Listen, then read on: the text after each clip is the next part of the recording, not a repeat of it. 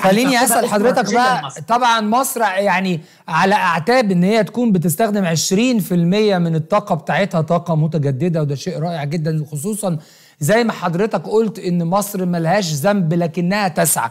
وهي كمان فيما هي تسعى هي بتستفيد من المنح الدولية للامم المتحدة والاتحاد الأوروبي وبنك الإعمار الأوروبي والعربي وأكتر من مانح للاقتصاد الأخضر. عندنا ميزة إن الاقتصادات الناشئة أو اللي بتقوم أو القوية عندها ميزة إن هي بدل ما هتبدل المكن دي بتعمل مكن جديد. ف يعني إنشاء مصانع جديدة على أسس الاقتصاد الأخضر ده شيء طيب جدا.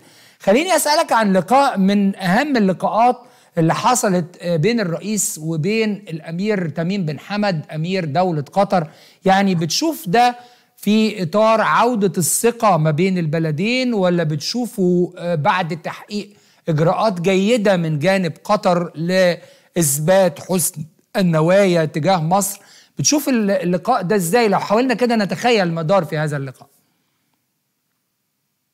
يعني ده بيبين يعني السياسة المصرية الثابتة الاستراتيجية والرؤية وأن مصر تقف على قدمين ثابتتين وأن مصر استطاعت أن تحارب الإرهاب وأن تحافظ على مؤسساتها الوطنية وأن تدعم جيشها بحدثات يعني من خلال تحديث الجيش المصري وقوة الجيش المصري وتماسك المؤسسات الوطنية المصرية وتماسك هذه الدولة المصرية والسعي لدعم الجيوش الوطنية النظامية في المنطقة العربية ومحاربة الإرهاب والإعمار والتنمية كل ذلك بيعطي ذلك الثقة وذلك الزخم للروح المصرية وللثقة في القيادة المصرية. حتى أن يعني الدولتين يعني قطر وتركيا تسعيان حثيثا للتصالح والتقارب أكثر وأكثر مصريه تركيا لما أغلقت وسائل الإعلام المعادية المحرضة على مؤسسة الدولة الوطنية أيضا استقبال شوف الأمير تميم وترحابه وسط يديه والكاميرات والفيسبوك والتواصل الاجتماعي. شفنا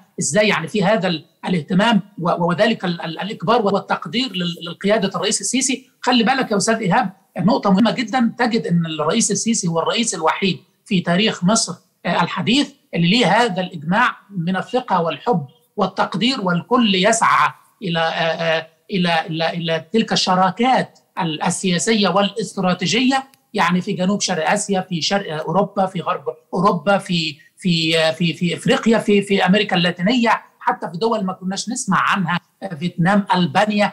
يعني العالم كله بيسعى إلى إلى إلى تلك الشراكات القوية مع الدولة المصرية حتى الدولتين اللتان يعني كانتا يعني تناكفان الدولة المصرية قطر وتركيا بنجد ذلك الانصياع وذلك وتلك الاستدارة منهما